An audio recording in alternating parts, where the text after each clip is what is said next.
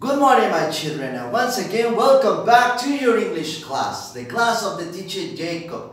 For today, my children, we're going to continue with a brand new topic prepared specially just for you. Now, this topic is also very important because with this, we can have singular objects. Now, there is a difference between singular and plural, but what do they mean in Spanish? The word singular means when we are talking about only one object. Para el día de chicos, vamos a trabajar con un tema completamente nuevo. Este tema también es muy importante, chicos, porque nos va a ayudar a diferenciar objetos singulares de objetos plurales. Ahora, singular y plural, ¿qué quieren decir? La palabra singular se refiere a solo un objeto. Cuando nosotros tenemos a lo mejor un lápiz, un marcador, una crayola, un libro, un conjunto nada más, un objeto, a eso se le conoce como singular. So, once again, singular for one object. Okay? Now, today we are going to make an activity and exercises about singular objects. ¿Cuándo puedo transformar un objeto en singular? Quiere decir en uno nada más. Cuando nuestro objeto empiece con una vocal. ¿Recuerdan ustedes las vocales? Letter A, letter E, letter I, letter O, letter U. Cuando mi palabra empieza con una vocal, vamos a poner nosotros an. An en español quiere decir uno o una. Si estamos hablando a lo mejor de un objeto femenino. ¿Ok? Otra vez chicos. Singular for one object. ¿Ok? Recuerden, la palabra singular para un objeto nada más. No two, no three, no four, just one. Now, Remember, if the object, si nuestro objeto empieza con una vocal, A, E, I, O or U, vamos a poner an. La palabra an quiere decir en español uno o una, haciendo, eh, eh, dando a entender que nos referimos a un objeto nada más. Una manzana, un carro, una muñeca, un vaso. El un, ese va a ser la palabra an. Un pizarrón, una pera. Una es la palabra an. Ahora, si nuestro objeto no empieza con una vocal, únicamente vamos a poner a. A también significa un, una o uno. Un lápiz, una cuchara, una mesa. Una es igual a a. Okay? But remember, once again, If the object begins with a vowel, si nuestro objeto escrito empieza con una vocal, vamos a poner an. Si no empieza con vocal, únicamente vamos a poner a. De esa forma, nosotros vamos a pasar todos los objetos a singular. Quiere decir uno nada más. Now, Here I have several objects that are also that they appear in your Teddy book. They are located right here in this page. Los ejemplos que ahorita les voy a explicar son ejemplos que se encuentran en su libro de actividades justo en esta página. Okay? Very good. So, let's transform These objects, vamos a transformar estos objetos en singular, quiere decir en uno nada más. The first object, it says, el primer objeto dice pencil. Remember, the pencil in Spanish, lápiz. aquí solito nada más dice lápiz. No dice dos lápices, no dice un lápiz, únicamente dice lápiz. ¿Qué tenemos que hacer para transformarlo en singular? Tenemos que poner an o a. Recuerden, an cuando empiezan con vocal, a cuando no hay vocal. The word pencil, la palabra pencil, begins with the letter P. Va a empezar con la letter P. Letter P. Is it a vowel? ¿Es una vocal la letter P? No. So, we write, vamos a escribir A. Ustedes en su libro ya lo tienen, ya lo tienen contestado. ¿Ok? Únicamente voy a explicarles lo que tienen que hacer y después trabajaremos en el ejercicio de su TED So, it says, a pencil. Ahora sí, un lápiz. Ahora sí, únicamente se refiere a una unidad. Un lápiz, a pencil.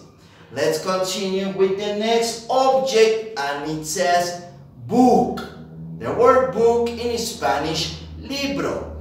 The book uses letter B of Brenda. Letter B, is it a vowel?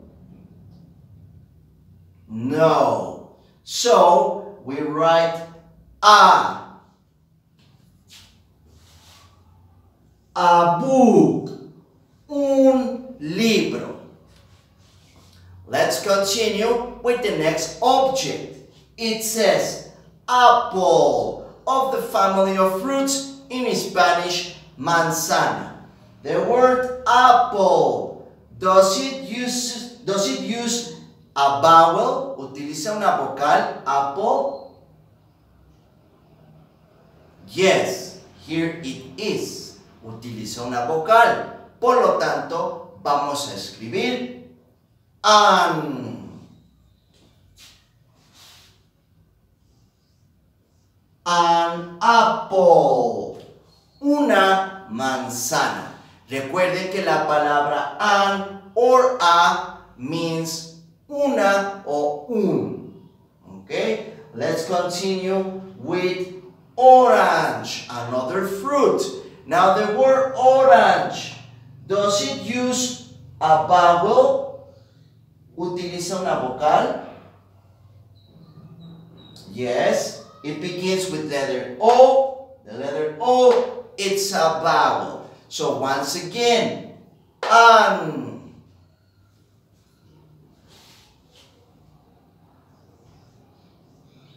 An orange. Una naranja. Remember, let's make a pause right here to give us a reminder. The word singular for one object. Recuerden la palabra singular se refiere a un solo objeto. Let's continue. Then we have ball. The ball, remember, it's part of the family of toys. In Spanish, eh, pelota. Now the word ball uses small b.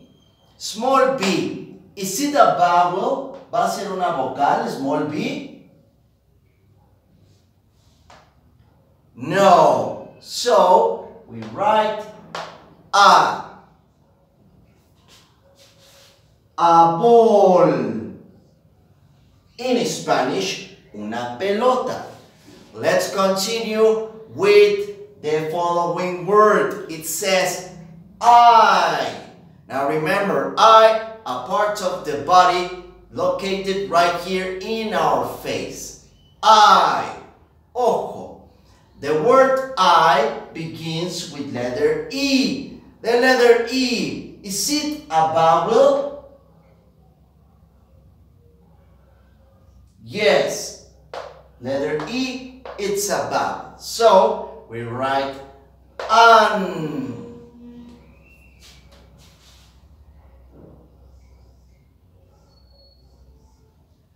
An eye. Un ojo.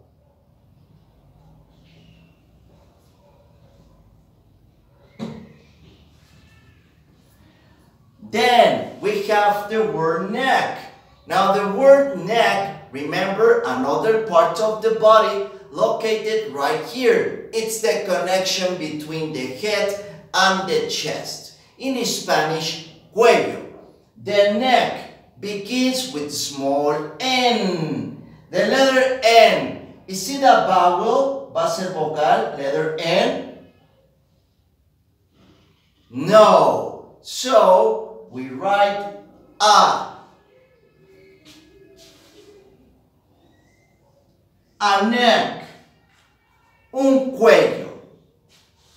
The final word of your examples, it says picture. Now the word picture, remember, imagen. ¿Ok? Una imagen a lo mejor que tenemos de decoración en nuestro comedor o en nuestro cuarto, ya sea de un paisaje, por ejemplo.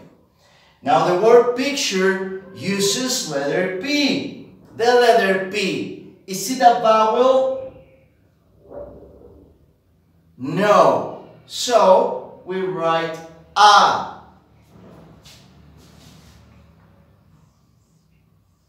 A picture.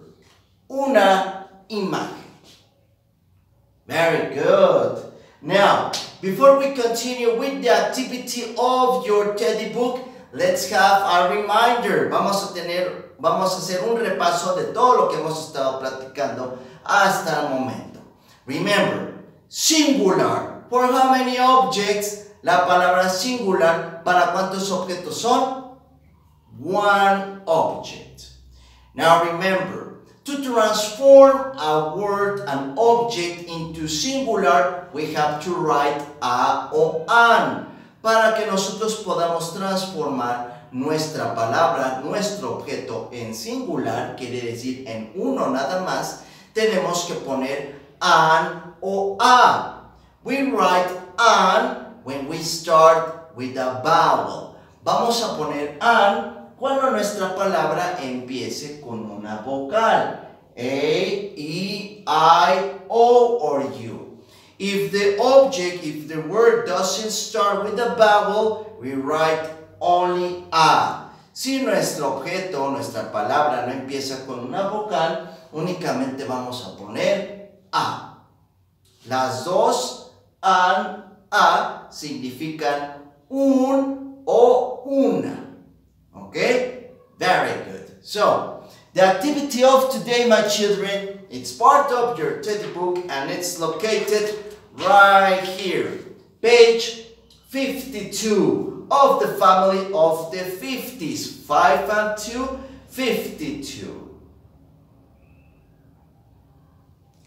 So if you want to work along with the teacher Jacob to make this exercise, you have 5 seconds to pick up your book with today's page and your pencil case. Si quieren realizar la siguiente actividad junto con el teachercito Jacob, recuerden ir por su eh, libro de actividades y su estuchera, tienen 5 segundos. 1, 2, 3, 4, 5. Let's begin. Now, the words that appear right here next to me are the ones that you have on your exercise. Los objetos, las palabras que tengo a continuación son parte de lo que ustedes tienen en su ejercicio. Remember, I work on the whiteboard so you can appreciate better. Recuerden que en mi caso no puse los dibujos, pero es el mismo ejercicio.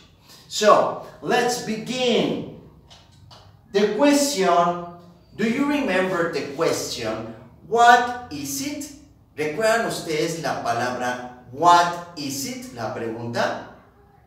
¿Qué es? When we are asking about the name of an object. Cuando nosotros preguntamos acerca de un objeto. What is it? Remember, the answer is always it's an and the name of the object. Recuerden que nosotros respondemos it's a, es un, y el nombre del objeto. For example,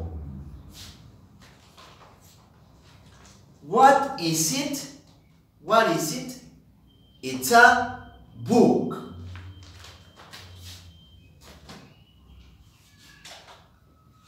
What is it? It's a marker. Okay? Don't forget to practice also at home using your objects that are around you. Recuerden que esta pregunta-respuesta lo pueden practicar en casita con los objetos que se encuentran a su alrededor. Maybe using a table, maybe using a bed, maybe using a pillow, maybe using toys. Ustedes recuerden, pueden escoger el objeto que quieran y preguntarle o eh, practicando con sus papás para que ellos les ayuden ya sea a responder o a preguntar el objeto. So, let's continue with the activity of your teddy book. It says, what is it? We take a look at the picture that is next to the sentence. Vemos el dibujo que se encuentra al lado de la primera oración. And tell me, what is it? Dígame qué objeto tenemos al lado. Doll, very good. It's a doll. Es una muñeca. Now, we only have doll. Solamente tenemos la palabra muñeca. Para transformarla en singular, tenemos que poner an o a. Recuerden, an when we have vowels, cuando tenemos vocales. A cuando no hay vocal. So, the word doll begins with the letter D of Diego. The letter D, is it a vowel? ¿Va a ser una vocal, la letter D? No. So, we write A. It's a doll. Es una muñeca. Let's continue with number two. What is it? Okay, take a look at the picture for second sentence. Vean la imagen que tenemos en la segunda oración. Okay, búho. Now the word búho in English, owl. Now the owl begins with the letter O. Letter O of owl, of Oscar. Is it a vowel? ¿Va a ser una vocal? Yes, we have it right here. So, we write an. Remember the word an? Un. And the word owl, búho. It's an owl. Es un búho. Let's continue with the third sentence. What is it? Take a look at the picture for number three. What is it? Airplane. Very good. Now the word airplane begins with the small a. Now, small a. Is it a vowel? Yes, it's right here. The first vowel. Now, what do we write? ¿Qué escribimos? An or a? An. Very good. It's an airplane. Es un avión. Let's continue with the fourth sentence. What is it? Take a look at the picture. Observamos la imagen. Television. Television. Very good.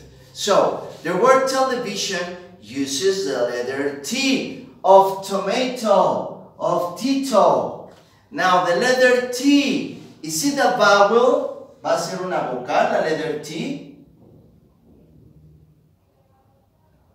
No. So, we write A.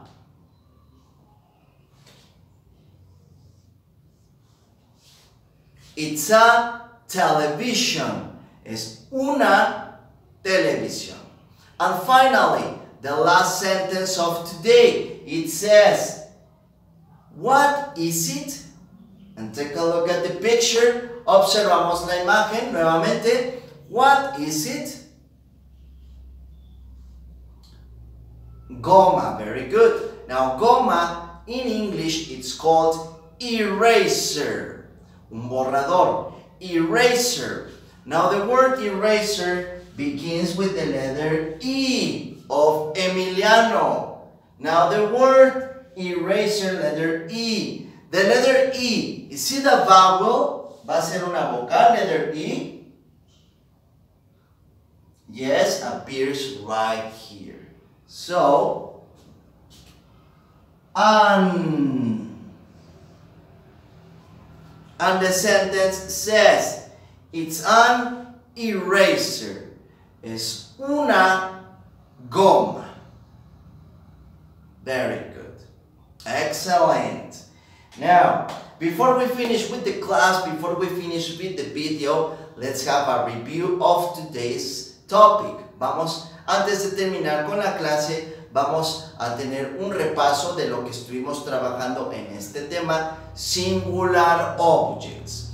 The word singular, la palabra singular, ¿para cuántos objetos van a ser? For one, para uno nada más. Now, if we want to transform an object into singular, si nosotros queremos transformar un objeto en singular, recuerden, tenemos dos opciones. An o a. Vamos a escribir an cuando nuestra palabra, cuando nuestro objeto empiece con una vocal.